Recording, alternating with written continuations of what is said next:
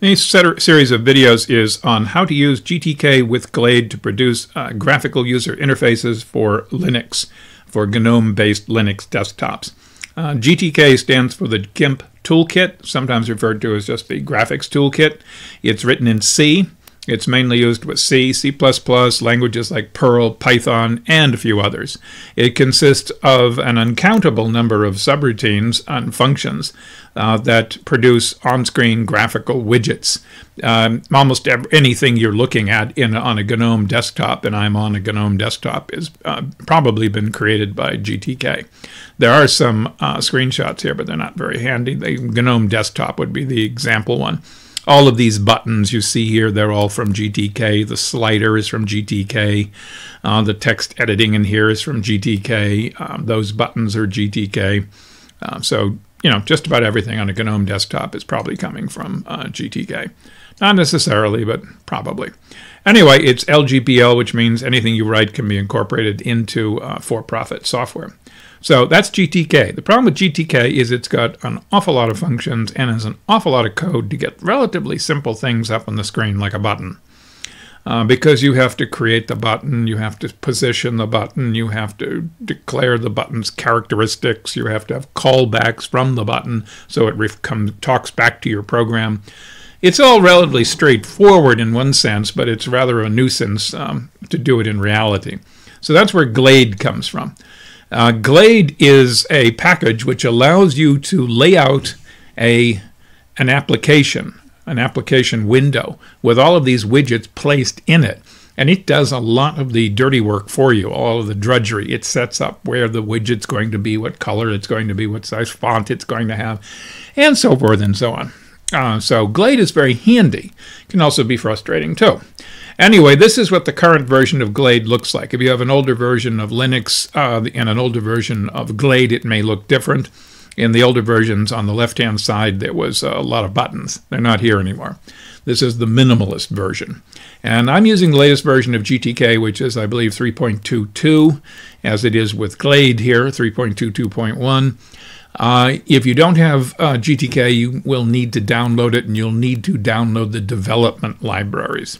Remember, in Linux, there's usually two sets of libraries. There's the libraries used for runtime, and then there's the development libraries. The development libraries are used if you're going to um, actually create code, and they're the ones that are dash dev or dot dev in uh, Synaptic Package Manager. So you need development libraries across the board here. Uh, all right, so um, this is what the screen looks like, and I need to create a project and to do a simple example. And I go up here and I click create a new project. Bingo. And what do we got? We've got on the left-hand side here will be a list of the widgets and who owns who, or who owns whom, I guess. Um, this is what the layout is going to look like. The central part is what your screen, your window is going to look like, the one you're creating. And the right hand here is for parameters, uh, for uh, things that control aspects of the window you know, for example, what type font, how big the font, where something's going to be lay, uh, placed, and so, stuff like that. You'll see it in a moment. All right, we got nothing in here, so let's get started. First of all, we need a top level, and the typical top level is going to be a window. All right, and there's a window. It's nothing in it. If I were to actually go forward and try to print this on the uh, screen or display it on screen, it would just be blank. You would have the borders and a title bar, but that's it. It's nothing else. I need a container inside the window. I need a container that can contain other items like buttons and sliders and things like that. So I go to containers. There are a lot of different ones. Um, I've not used most of them, but GTK fixed is a good one because it's a fixed grid container. It's, it's, it's a grid. You can put other things in here. It's you've got nice ways of laying things out. Um, it's a simple grid work in which you can drop other stuff. Okay, so what's the most important thing? It's probably a button. Everything's got buttons. So I go to GTK button and I drag the button in. All right, there's a button. Now I should have been naming these things. I keep forgetting to do that. Um, this would be the ID. Glade is going to write out a file, and that file is going to be read in by your program. And your program will refer to the items in that file by name. And this is where you put the name. It's up here under ID. So I'm going to call, these are the names of the, of the items. I'm going to call the top level window, window. You can call it fluffy if you want, but I'm calling it window. Okay, GTK fixed. I'm going to call that fixed uh, 1. It's possible under certain circumstances I could have more than one fixed grid in a, a given project. Um, so fixed 1. You'll notice here when I when I brought these things in, a lot of uh, stuff came in. These are um, signals and um, parameters, uh, settings, and so forth. Most of these are you just leave them alone, especially at the top level. You probably don't want to play with them, certainly not at this point. You notice fixed had a bunch of them too. Um, okay, which we're not really too worried. But getting down to button, we become more interested in what's going on over here. Well, I'm going to need to call out, um, give that a name too, and I'll call it button one. I've already written the code, so I better use the same names that I wrote used in the code. All right, um, the contents of the button are down here. It says button, and there's the word button. And I'm going to change it to something like um, Okay, uh, are you being served or something? May I help you? Okay, that's the content of the button. That's what will show up on the screen. There'll be a button with that text in it. It's a big button, but all right. Um, so we go next to where is the button going to appear? Well, this is the X and the Y of the button. You can't drag and drop it, but you can um, play with these guys um, up and down and so forth. Sometimes this gets a little erratic. If you mistype in here, you can end up with a button which is 3,000 pixels wide in which case it looks weird, obviously. Um, just be careful when you're typing up here. You can, it tends to be somewhat sensitive to mistyping. All right, so that's the that that's the position of the button. And under common, there's a whole again a whole lot of parameters, most of which you don't have to worry about. But down here at the bottom is width and height request. So if I uh, remove the width request, 100 pixels, I believe that is, nothing really changes because the text that's in there plus the mandatory uh, padding on either side um, is it, it is 100 or greater. So nothing happened when I did. If I wanted to make it, go to 100, let me start incrementing and see what, what point it starts growing. So there it is. Um, and it's shrinking and... Uh, okay, that's less. So it's apparently by itself, it's about 118 um, pixels wide. So I'll just drop that and leave it um, at the default, sufficient size to hold the text. And again, it does have generous uh, padding on either side. There's a way of getting rid of that, but you probably don't want to because it creates other problems. The height request is the other thing. If I go, to, if I drop the height request, it goes to the minimum height necessary to hold the uh, text. I might want to enhance that a little bit. Um, uh, whoops, um, make it a little bit bigger, but okay, we'll leave it at 50. It, uh, you pick any number you want. Now I can decorate the button in a lot of different ways. Um, it's not, uh, where is it? It's over here. I could put, uh, I could, I could put um, icons in here. There's several ways of putting icons here under Add Custom Content. I'm not going to click them because I'll lose the text that's in there. I'll have to retype it. We'll get around to adding icons and so forth later. The standard stock button icons are not very good uh, to use because they um, they put text and icon. It makes the thing really big and chunky. Uh, all right, so I got a button. Anything else about the button? There's the location, there's the size. And then we're going to get to signals, but I'm not going to get to signals yet because what happens when somebody clicks the button? Something has to happen. Well, the way GTK works, and it's the way most of these window um, GUI managers work, is there's a, a GTK will be sitting there watching for events Anytime you mouse over the window in question, mouse over a widget in the window, um, click a window, click a button, uh, right click, left click, scroll wheel, all sorts of things. These are these are uh, incidents, they're events, and it detects the event.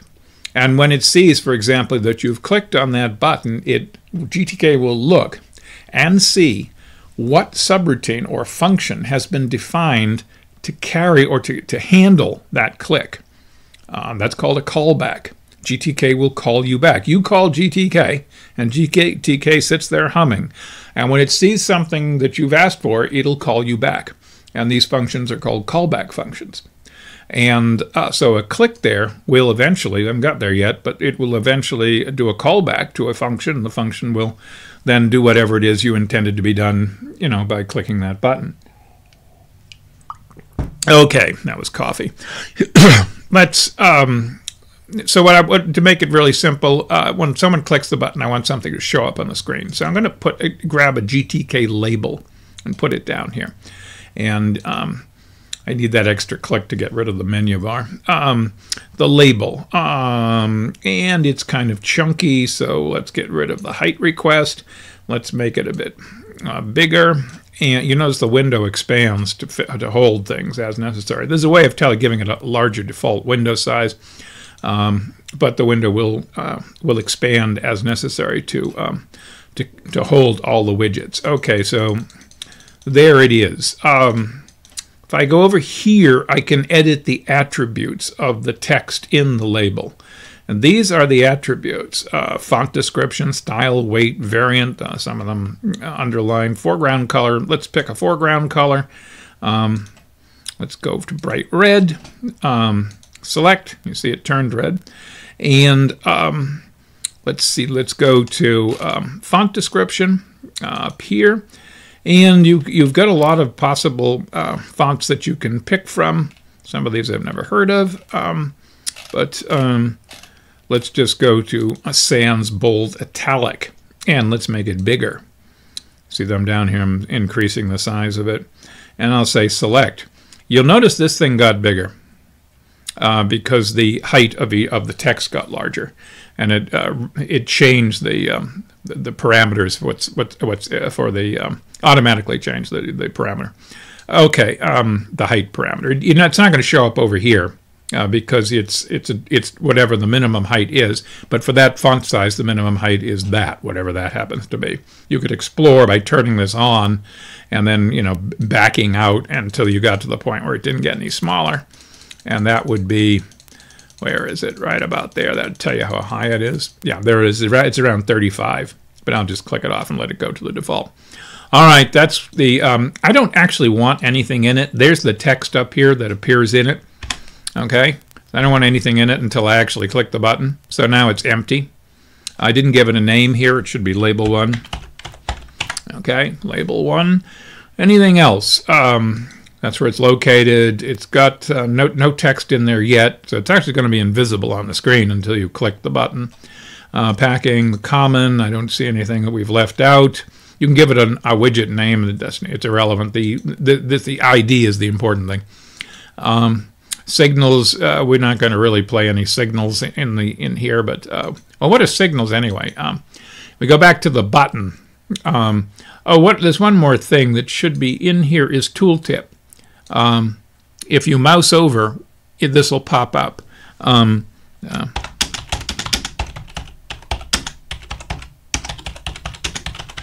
Okay, so if you mouse over it, that'll pop up. Uh, that's a tooltip. All right, uh, back to the button. Button can have a tooltip also. Um, okay, so when you mouse over the button, you notice the label went away because there's no text in the label.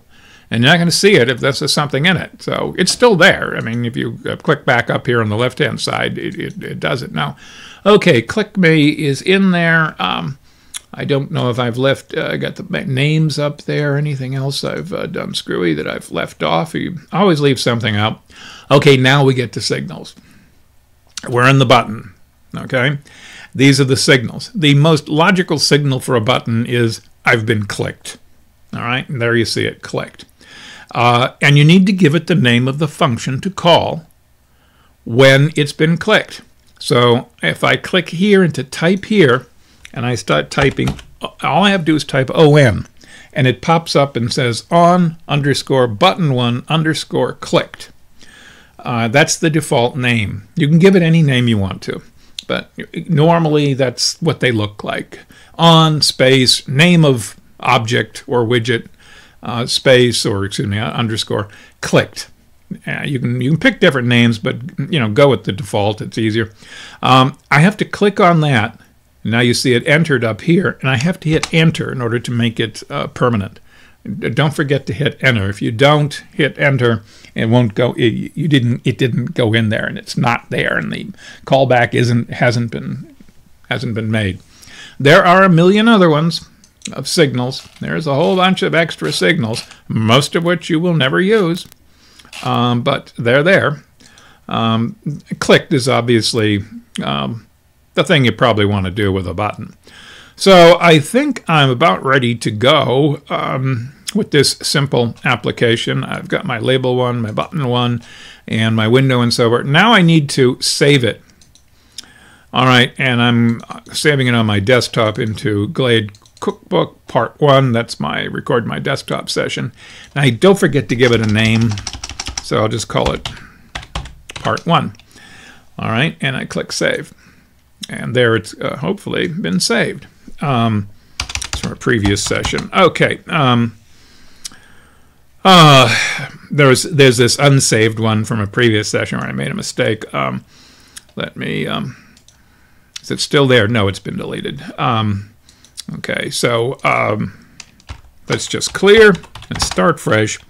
What's in there? Um, well, it's still showing unsaved one.glade. That's uh, oh, because it's got a squiggle at the end of it, therefore it's hidden.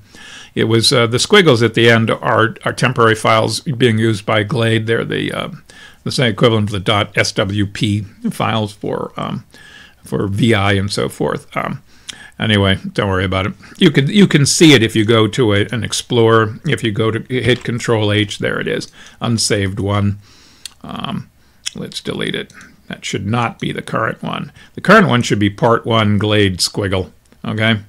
Uh, that's the current one that I'm playing with. Now go back over here, um, do an ls again. You can see I've already written code, part1.c and part1-bin, they've already been written. Um, the part1.glade squiggle is the um, is is the backup, as it were, for Glade uh, for the current session. Part1.glade is the actual thing I wrote. That was when I clicked save up there. That's what got written. What's in it? You ask. Um, It's an XML file. It's an XML file describing what your screen is looking like.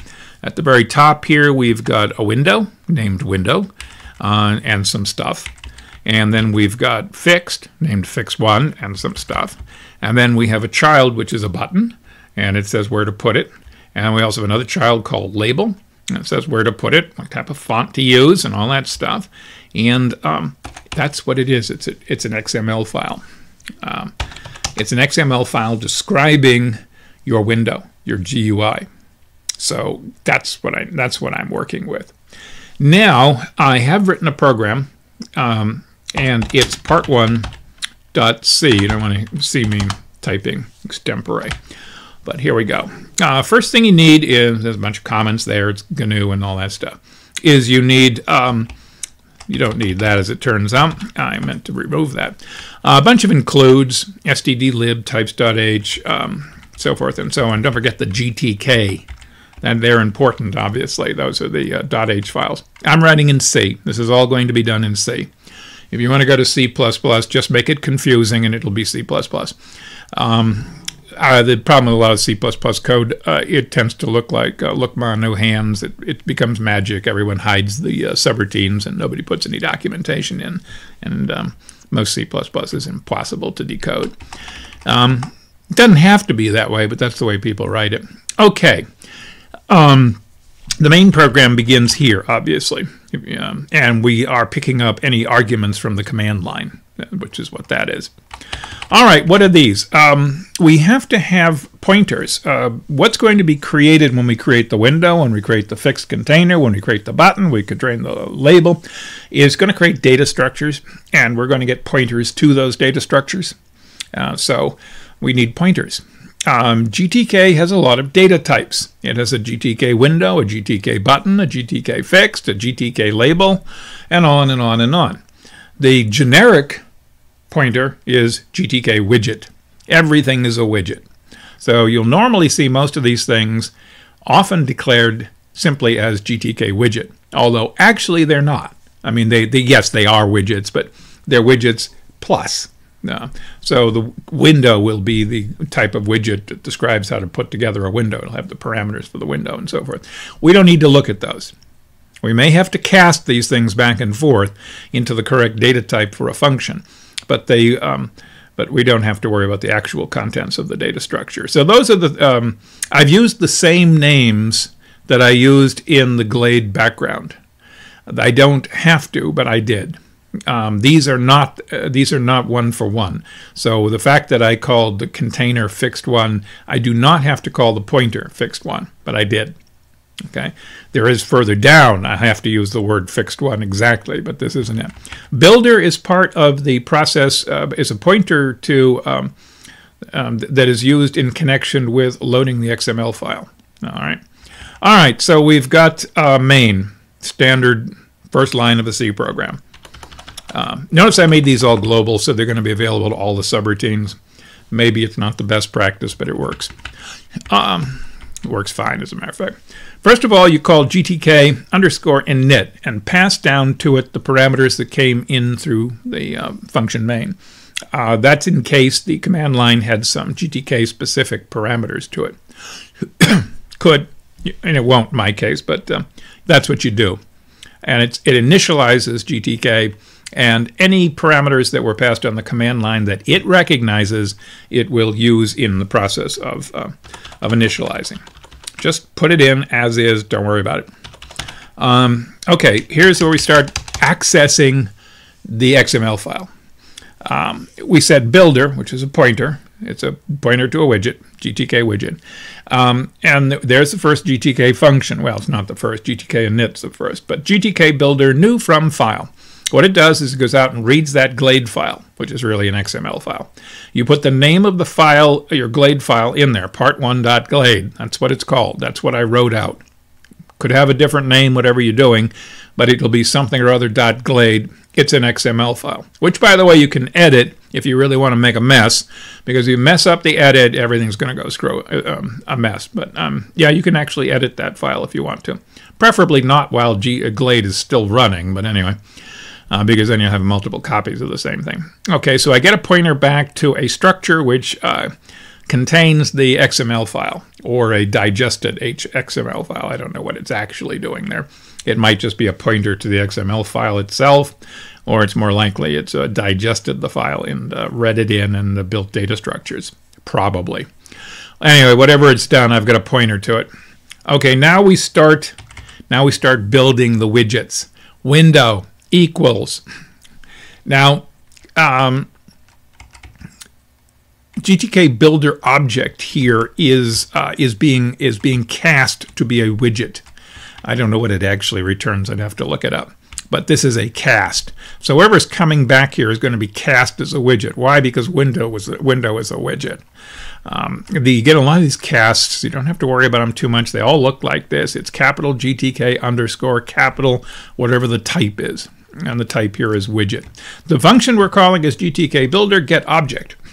And we pass to it the pointer builder, and we pass to it the name of the thing in the XML file that we want to connect to. Let me make this on top here. Um, okay, so if I go, so I can bring it up here. In other words, uh, this ID window is this guy. All right this and this line up. So when I call this, it uses this word to find this data structure, find the information associated with the window. And it returns me a pointer to, uh, I assume it's a data structure that I don't know, they don't tell me, but I assume it's a large data structure which contains the information necessary to build a window. This has not built the window. This just as the, the window will be created when we actually um, um, well, you see it a couple lines down, show window. Uh, all right, so uh, I've connected to the window. This is a callback. Um, normally you don't have to worry about callbacks, but the main window itself you do. Um, what it's telling here, it's telling GTK, or it's telling your desktop really, um, that when window is destroyed, do a callback. That uh, well, this is actually a cast as well uh, do a callback to GTK main quit. Okay, so when you when someone clicks the X in the upper uh, right hand corner or some other button which it generates a destroy signal.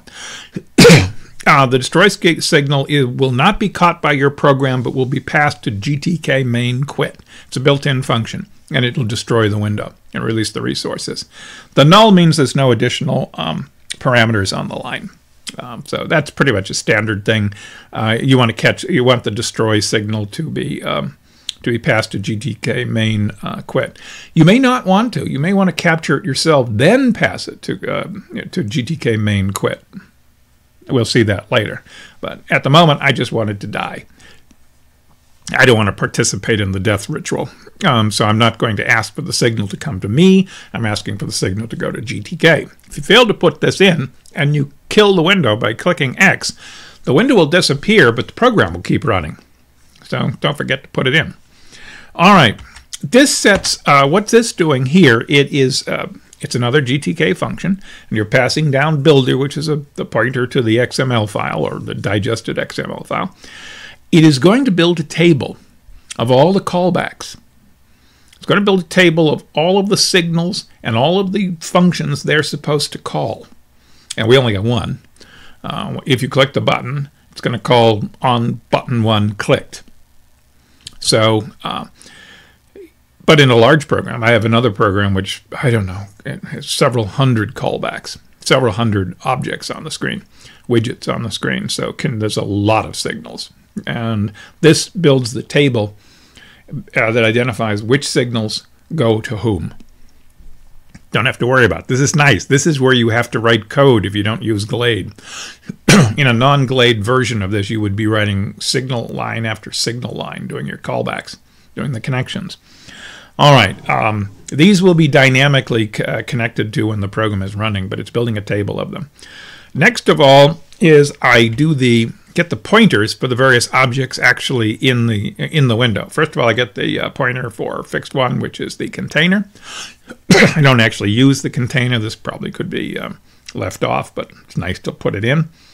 And again, fixed one here, this fixed one corresponds to this fixed one. All right.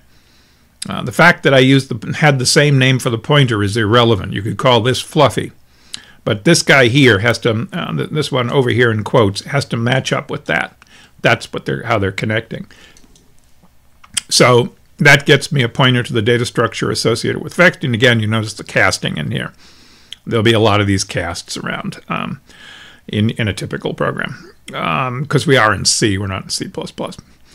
And it is it is a C program. Everything underneath here is C. Uh, there's where I could connect to the button. Um, the name again, button one corresponds to this button one up here. They have to have the same name. Gets the data structure to this, which also tells it what to what's going to happen when you click it. Um, and then this the label tells it where it is and all that stuff. So I have this is where you, this is where Glade really saves you a lot of time. It's built all the widgets, and it's done all the callbacks. You are ready to go. So you tell uh, the system that you want the window to be visible. Hello, show the window. And then you call GTK main. This, this is what's going to sit there. GTK main is going to sit there and watch, and watch for signals, watch for events. And anytime it sees an event that belongs to somebody, it'll call that someone. When the program finally quits and everything is all done, um, GTK main will return, and then your program exits. So that's your main program. This GTK main is where it spends all its time. Now GTK main will call you the callbacks, call your functions, but they have to, but that's how they that's how your program will run. Okay, so we have one callback. Uh, and here it is down here. Um, generally, they um, most of them are void data type, not all, but uh, void is typical for for clicked. So on button one clicked, uh, you will get only one parameter. That's all I set it up for. And it's it's a GTK button. And it's a pointer, so I just call it star B. Of course, it's a pointer to this button up here. We know that, of course. But it will be a pointer to that button. It always tells you which button it's uh, or what object it's it's uh, is being is called the callback is coming from. Um, okay, so I've got uh, so there there is a declaration of GTK button. Um, not GTK widget, because a button is a widget, but nonetheless, it's a button when it comes into the function. So the only thing I want to do is just um, change the text in the label. I could do a million other things. Um, I could shut the computer down. I mean, any, anything that's, that's legal, of course, in a C program, you could you could do at this point. But all I really want to do is just uh, change the label. And I use the function GTK label set text. Notice all these underscores. The uh, function names can get really long and easy to mistype, but there you are. Now, the first thing it wants is, of course, the label that you're going to change. Well, the label is technically defined as a widget, so you have to cast it as a GTK label. No big deal. Um, so there's another cast, GTK underscore label. Um, so it's casting label one, which is a widget, to be a label, which it actually really is. So no big deal. Second parameter, what you want to what do you want to put there? What do you want to have go in the label? Um, there is a data type in GTK called gchar. It's the same as char, okay? But uh, so you didn't really need this, but I just put it in. It's a cast. It's casting what would be char star, const char star um, uh, of a low world into a const g uh, pointer to gchar. Okay, so basically they're the same thing. Um, regular char pointer as opposed to a gchar pointer. I don't know of any difference. There's probably some, but I don't know what it is. All right, so there's the program. Not very long. How long is the program? The program is uh, 75 lines long. And don't forget, most of it was probably up the top here in the in the comments. So I will. Um, um, I must have changed something. Um, so get out of it. Now I have already um, in here. Uh, there is a, a, a script to compile. Compiling. Um, there's a lot of parameters to the compile. Um, you notice the pound sign um, exclamation point or bang slash bin slash bash um, GCC. This tells me I don't want to see certain these dash W no uh, minimizes warnings. You can leave them in or put them out. I don't care, but um, there's a couple of them here. There's otherwise you get a lot of weird warnings sometimes. Most and of course they're meaningless. Um, the output file name will be, uh, the executable will be part1 dash bin dash o part1 dash bin. So that's what the executable file is going to be named. You can change it. Um, you can actually parameterize this, of course. Uh, the input file is part1.c.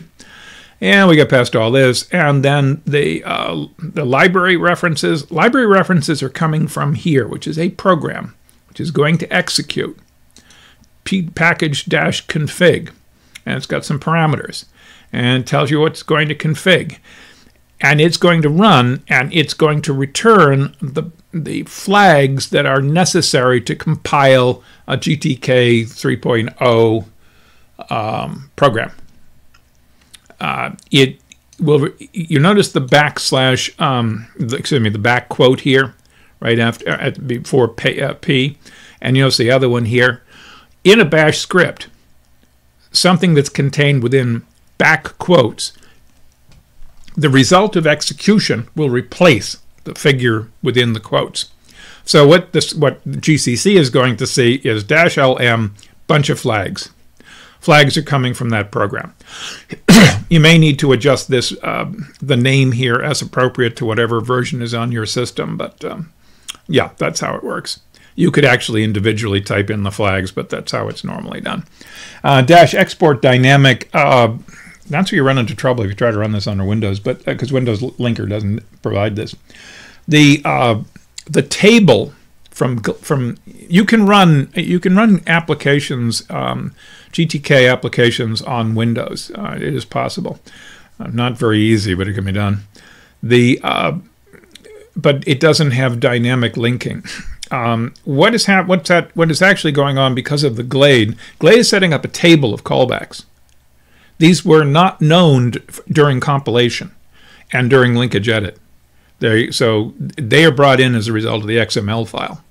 So the program starts, it doesn't know about any of the callbacks. Oh, the callback functions are there, but it doesn't know who's calling them or anything.